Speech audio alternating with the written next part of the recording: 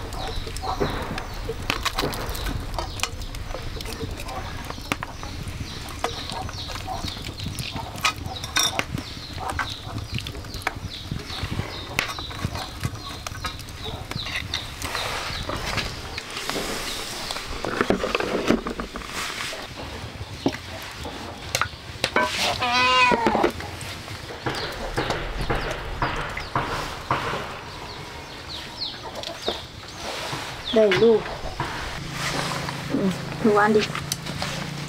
Ừ, cá này. Ngon lắm này. Ừ.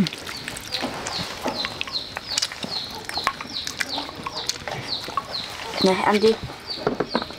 Ăn hết đi nhé tươi nhé.